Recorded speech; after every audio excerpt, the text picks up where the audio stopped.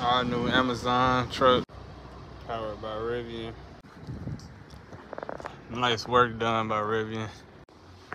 Inside the cabin. These are built pretty nice.